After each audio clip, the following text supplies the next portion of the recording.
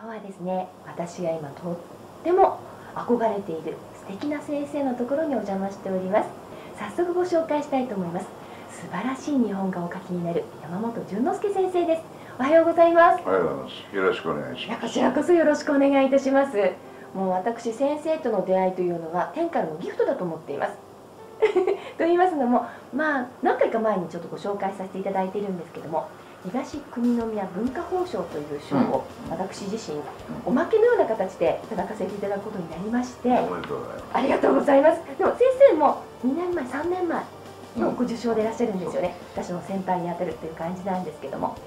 その、えーと、パーティーの時にもう先生の周り黒山の人だかり思いっきり人気でしたよね。まあね。はい。ところがですね私この日おバカさんなんですよ名刺入れを忘れましてですね、うん、そしてこれは今日は名刺交換してはいけない日なのかなっていうふうなメッセージを感じたものですからおとなしくしてたんですよ、おとなしくしてたので遠巻きに先生のこの周りにいろんな方たちが名刺交換にしてくださいっていうふうにあの近寄られたりとか写真撮影させてくださいとかって言って。それで、はい、名刺はこれくらいあった。あ3センチくらい大量に、それを持って帰ったらその名刺が行方不明で今だに出てこない。あらま。だから縁がない。なるほど。そしてですね、うん、先生からいただいた名刺っていうのは、うん、表に当然山本淳之介と書かれてるんですけど、うん、裏返しすると白紙なんですよね、なので先生からせっかくいただいた名刺といっても連絡先がないっていう状況なのでそれが価値観。はいですよね、で私は名刺を持ってなかったので名刺交換2歳行けなかったんですよ先生。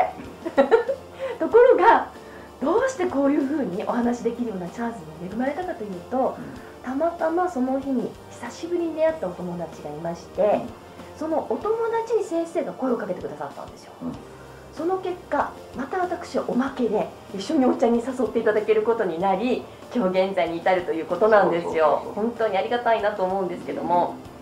で私不勉強で先生の作品を存じ上げていなかったんですが、先生はいわゆる日本画というカテゴリーとはちょっと違う世界で絵を描かれてらっしゃるんですよね。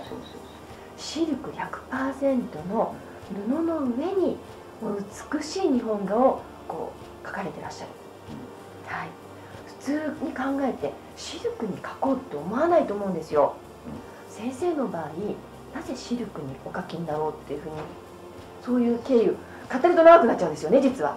それはですねはい。警察庁の指示。え？警察署警察庁。警察庁？の指示でね。それをやれと。ええー、えそそもそも日本画と警察庁がどうつながるのかさっぱりなかなかイメージがつながらないんですけど。僕は元公務員だから。はい。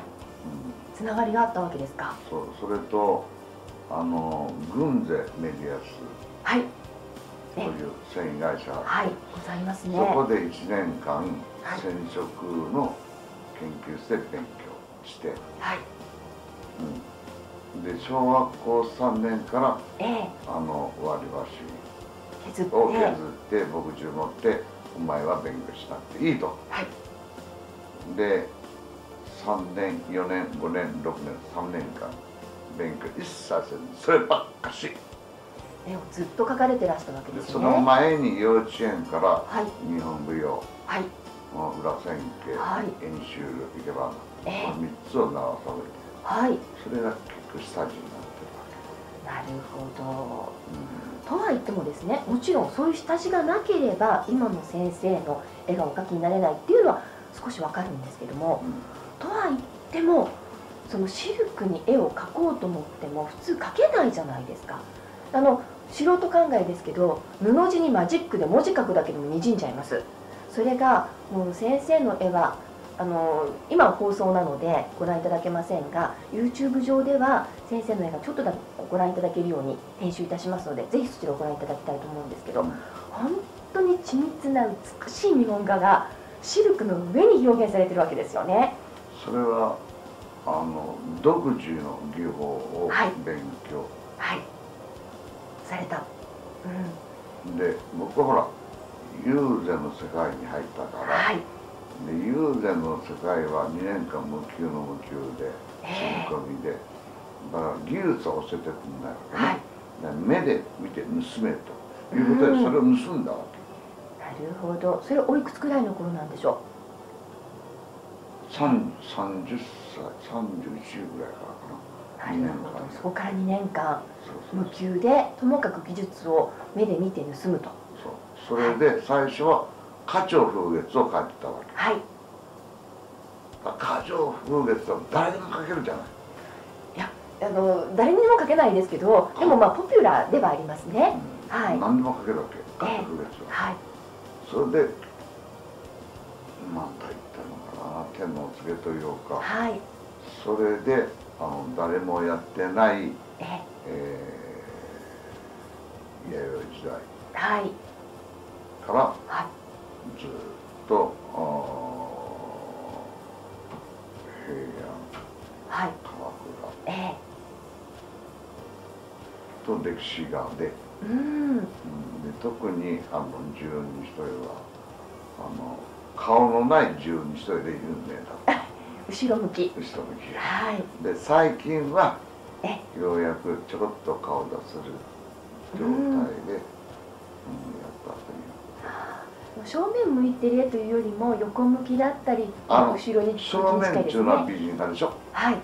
で美人見て綺麗で終わり。ええ。奥行きがないわけ。なるほど。で後ろ向きだったらどんな顔して何を考えて、うん。えーという奥行きがあるわけ、そうですね。うん、それがいいわそうか。けそれと僕は警察からええ。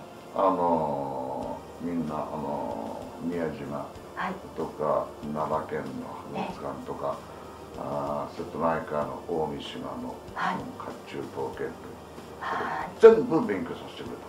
それは警察の力。あそうなんですか。何でもかんでも警察の力。わあなるほど。そういうチャンスがあったから先生はいろいろなこう、えー、と絵のテーマになるものを学ばれてそれを絵にされてらっしゃるわけですね。あとはもうイメージで一切見て書かないから、ということは先生は一切何もご覧にならずに絵をうんイメー描けないジイメージ。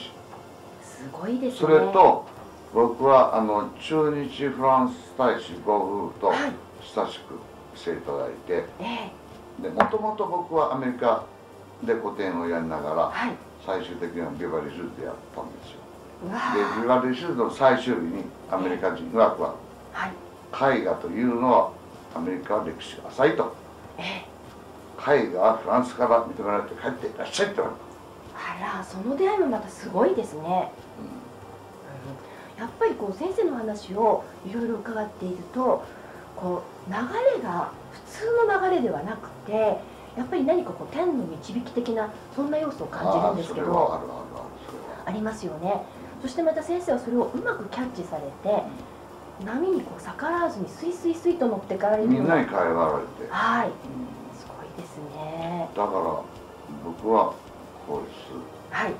公務系とはい。警察庁。はい。から世界200ええ。国のインターポールがバッ。怖いものなしですね。怖いもんなええ。自分が怖いぐらいだなるほど、そしてまた先生はお描きになったその絵をいろいろなところに献上されてらっしゃるじゃないですか、ええ。なぜこう献上しようというふうに思われたんでしょう？献上というのははい。要するに日本対外国の、うん外交が日本はよあまりこう上手では上手ではねない。ないですよね。だから僕はあのそういう芸術を通してはい。親善でそれですうん。るでそれで仲良くなればいいはそういう考えでなるほど。金、それはやはりそれもひらめきのもとにそういうふうにうん、しよそうれははい。もう全世界のニュース見てるからあ。どこでどうやって攻めればいいかという勉強してるわけ。なるほど。うんじゃあそれはある意味先生ご自身が世界平和を目指していらしてそのためにここにその先生の素晴らしい芸術をお送りすることによって、うん。日本と仲良くなってそして世界がこうだんだんだんだん平和になってでいくことを僕は人道的支援主義者だから、はい、はい。うん、そうやってやるわけ。なるほど、で僕はほら、ね。日本語教員免許を持ってるから、はい。日本語教員免そうだったんですね、うん。はい。許だから、あのみんなチャリティーでええそれとお各国に学校とて技術合法性、はい。えー宿舎食事水をええ全部与えてやる。